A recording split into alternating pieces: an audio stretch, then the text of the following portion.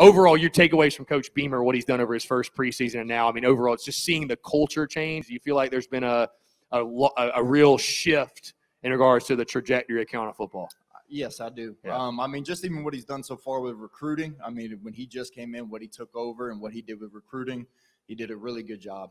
And you know, and even then, like even though Gamecock, you know, like the last game wasn't very good, there's a lot of light at the end of the tunnel. I mean, when you watch them, they made a lot of good plays. They made a lot of, um, you know, they made a lot of improvements. They, Mm. From week one to week two to week three, they're making improvements, and you just hope that, you know, week four they made enough improvements to get it done.